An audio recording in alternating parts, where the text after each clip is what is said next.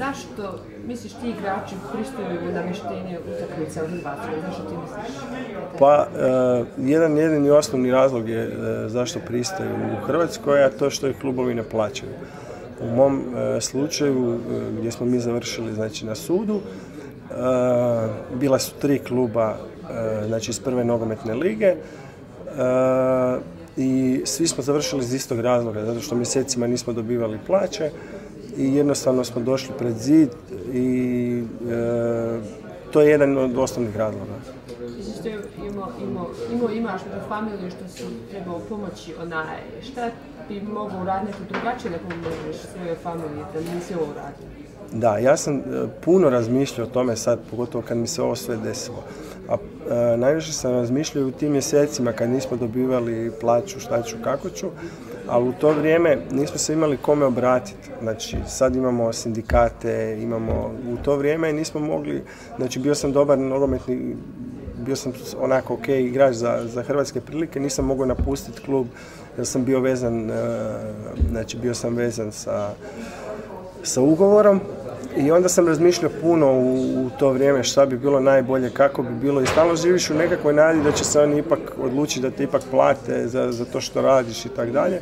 Međutim, to se nije događalo i sad kad sam sve to prošao, E, sad znam jako dobro što bi napravio. Znači sad bi ih, e, ili bi uzeo kopačke i bacio ih, ne bi više nikad e, udario loptu, ili bi, ili bi, ovaj, ili bi to prijavio. Jesi uopšte da napustiš futbal i da nešto drugo radiš, da možeš dobiti neke pare da pomožeš familiju? Pa možeš, ali jednostavno kad čitav život si uložio u to, znači ja ne znam, ja sam znači 20 godina uh, igrao nogomet i sad, e, već sam bio pred kraj karijere i jednostavno, ovaj, je, znači, nogomet sam živio čitav svoj život i teško je sada da ti kažeš, evo, neću više igrati, idem, ovaj, ne znam šta bilo šta drugo raditi. Sad, vjerojatno bi mi to bilo bolje rješenje da sam to, ali tad, to, tad to nisam znao. Prvi put kad si namještao utakmicu, kako kaže, e, dobio si 2550 dolara, je li tako? Pa i, e, tu su negdje bile, e, tako je bilo ono uglavnom, e, tu su negdje bile cifre oko, oko 2500 tisuće dolara. Ako si tada osjećao krivnju, zašto, zašto si onda nastavio drugu, treću, četvrtu utakmicu? Zato što kad jednom kreneš više nema, nema, ne, ne, nema nazad. Možeš to više objasniti kako? Pa zato što kad smo to jednom napravili, onda je, e, kako bi ti rekao, mi smo imali velika dugovanja prema, prema, prema državi što nismo plaćali e, znači te doprinose, zdravstvene, mirovinske i tako dalje. I jednostavno,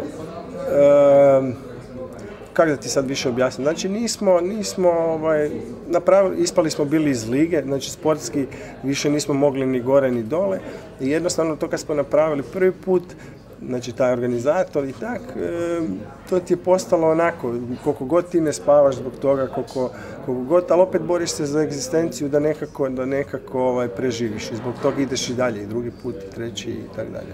Jesi znao da ćete, da ćete neko uhvatiti kad si ušao u to iznad prve te utakmice? Pa nismo mi razmišljali to, mi smo među, uh, uh, znači uh, afera u Hrvatskoj je druga afera u cijelom svijetu. Bila je jedna afera znači samo u Njemačkoj, a Hrvatska je bila druga afera. I znali smo da radimo nešto krivo, ali jednostavno nisi uopće razmišljao o tome zato što samo si gledao kako, ja kažem, samo kako ćemo preživjeti, da spasimo obitelji, ne znam ja tako, što je užasno glupo. Znači, trebao sam odustati, ali u tom trenutku ti ne, ne, ne, ne razmišljaš na taj način e, da, da radiš nešto opće krivo. Ne? Nisi nikako mislio o zatvoru, da ćeš zatvor? Pa naravno da nisam mislio. Kako bi mislio ovaj? Nije mi bilo to ni na kraj pameti. S time da je, e, sad imamo u cijeloj Europi imamo ovaj, imamo namještanja utakmica. Uglavnom igrači nisu gonjeni, gonjeni da idu na sud, znači da mogu uopće ići u zatvor. Ili ih nogometni savez kazne pa ne mogu igrati šest mjeseci, godinu, dve, tri. Nije išlo na, na, na, znači na te velike sudove. Jer mi smo u principu optuženi za, za primanje mita. Znači kao da sad, ne znam, e, ali nismo razmišljali o tome. Zašto si sad sve otvorio i pričaš sve ovo? Pa nisam se ja sad otvorio. Ja Ne, sam, ne, sad, da, da, da. si otvorio onaj, da Pa zato što da, da, da, jer ne želim nikome da proživi ovo što sam ja proživio. Znači ne, ne bi to poželio nikome i zbog tog sad to, e, kako bi ti rekao, zbog tog to pričam.